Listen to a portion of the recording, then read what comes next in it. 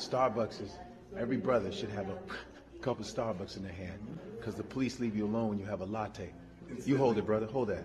Look how safe he looks. Mm. Give it to the other brother. Look how safe he looks. Look at that. Give it to the other brother. Look, he looks like a thug, but with that fucking latte, look how safe he looks. So, brothers, black men out there, get yourself a latte. Because when you do your lips like this, mm. The cops leave you the fuck alone. I'm sorry, officer. Was I aggressive? Jesus. oh, oh, bro, I was doing well with that one.